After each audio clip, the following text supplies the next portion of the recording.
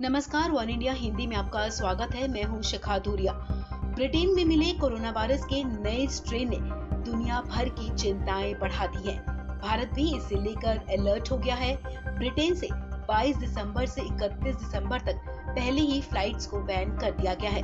वहीं एयरपोर्ट पर RTPCR test भी कराए जाने को कहा जा रहा है। लेकिन दिल्ली की अरविंद केजरीवाल ने बड़ा फैसला किया है कि वो पिछले दो हफ्तों में यूके से दिल्ली आने वालों के घरों में जाकर कोविड टेस्ट करेगी।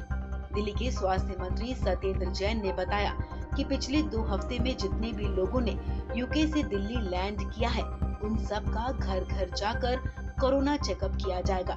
केजरीवाल सरकार ने आज से इस पर काम करना भी शुरू कर दिया है। दिल्ली के स्वास्थ्य मंत्री सत्येंद्र जैन ने एनडीटीवी से खास बातचीत में कहा कि मुख्यमंत्री जी ने केंद्र सरकार से निवेदन किया था कि यूके से आ रही फ्लाइट्स पर प्रतिबंध लगाया जाए। पहले शायद प्रतिबंध लगाने का विचार नहीं था, लेकिन जब दिल्ली सरकार ने कहा तो ये फैसला लिया गया। उन्होंने बताया कि जितने भी लोग पिछले दो हफ़्ते में यूके से दिल्ली आए हैं, उन सबको घर घर जाकर चेक किया जाएगा।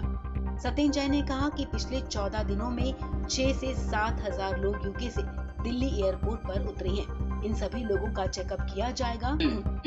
सॉरी और सबको सलाह दी जाएगी कि कम से कम एक हफ़्ते वो घर पर ही क्वारंटीन रहें। टेस्टिंग को लेकर सत्येंद्र जैन ने कहा कि जो अभी लोग आ रहे हैं उन सब का आरटीपीसीआर टेस्ट किया जा रहा है। अभी तक जितने भी लोग बाहर से आ रहे थे वो अपने साथ कोविड टेस्ट की नेगेटिव रिपोर्ट लेकर आया करते थे। उन्होंने कहा कि पिछली बार भी बाहर से आए लोगों की वजह से दिल्ली को इस वायरस का असर काफ़ी झेलना पड़ा था।